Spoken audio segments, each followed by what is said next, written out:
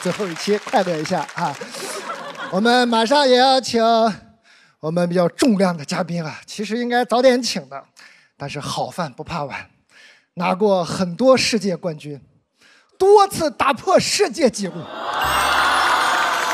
如今呢，心直口快的解说风格，让大家直呼想把他焊在解说台上，这个愿望我们就实现不了了，争取把它焊在脱口秀的舞台上。掌声欢迎王蒙。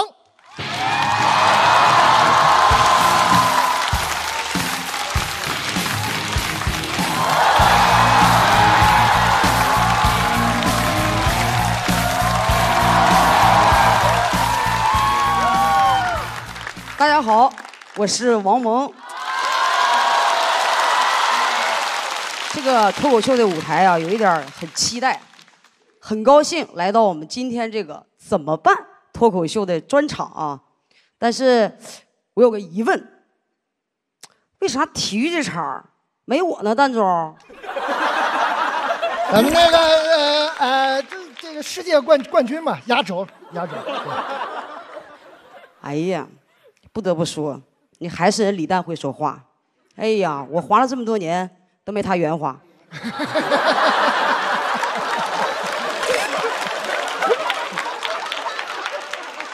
是不是啊？咱今天这个主题啊，就叫别憋着，别憋着呢，就特别适合我。为啥适合我？你们都知道，我就是嘴停不下来。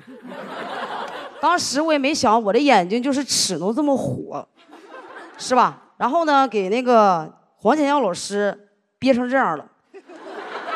上一次人来的时候，录完你们节目给我发微信，哎呀，我跟你说呀，你不知道，一个人说话有多么的爽。我说，嗯，怎么能不知道呢？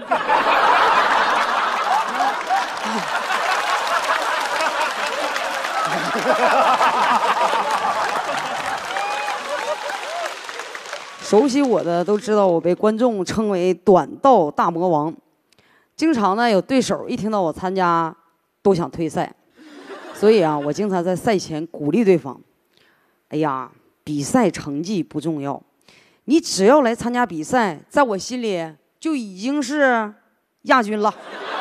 没办法，姐的眼睛就是尺，姐的嘴巴就是直。”现在很多人说我是他们的互联网的嘴替，是吧？刚开始我还不清楚，后来我一了解了，就是很多人看网上说，说谁说话说的比较好，说出了自己的心声，哎，然后呢就说你是我的嘴替，是不是？但是我不太推荐大家老用这个词啊，为啥呢？如果你每天都在互联网上找嘴替，那你这是不是嘴笨？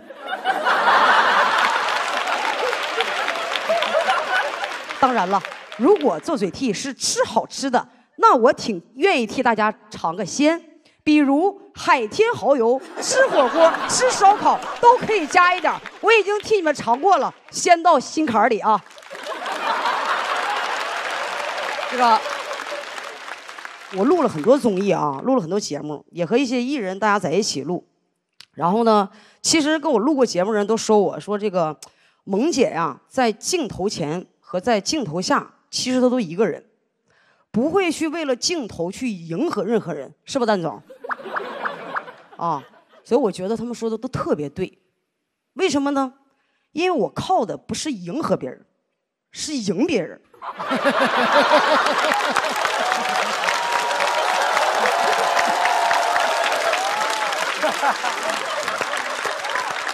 确实是赢了很多人啊，然后也得了很多奖牌这个事儿，然后真事儿啊，我给大家讲，我之前我回我们老家，我的老家乡，家乡呢建了一个短道速滑的冠军博物馆，然后呢他要找一些这个奖牌在馆里，我就把我这些打包吧，打包我带回去，带回去我过安检的时候哈，人家安检大哥就是问我这包里都有什么，你知道吧？我我说没啥，没啥，没啥，没啥，就是一些金属，没啥。然后呢，这这这不行，这这这，你把东西给我拿出来。最后我真没办法了，你知道吧？我只能跟他摊牌了。我一摊牌出来，哎，五十来块金牌。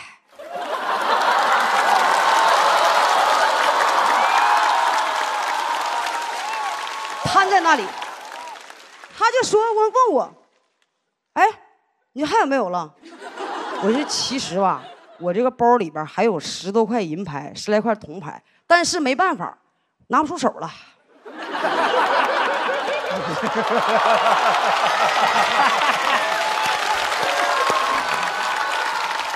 退役之后啊，我也开了一家体育文化公司，我都没有对外招人，只签约了一些退役运动员，就是想给他们一些再就业的机会。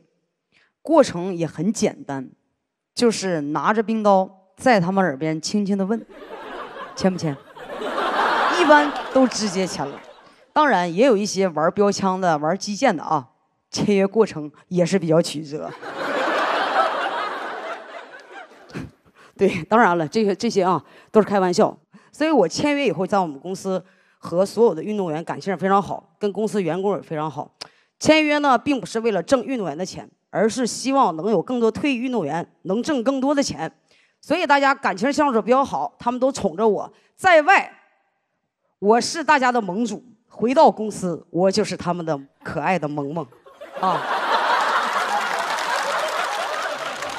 哎，说了挺多，最后希望大家能和我一样，干啥都别憋着，啊，该摊牌的时候咱就摊牌。同时，也希望大家别再让我当你们的互联网嘴替了，你们要学着自己说话，自己去得罪人。谢谢大家，我是王萌。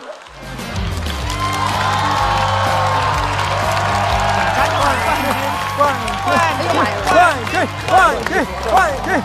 谢谢萌姐，冠军说话就是硬气啊！呃，到此为止，本场的所有脱口秀表演就到这里结束了。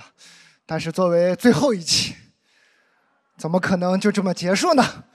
既然叫别憋着啊！还有两位朋友，在工作和生活中呢，都积攒了非常多的怨气。尤其是一位来自隔壁棚录制的朋友，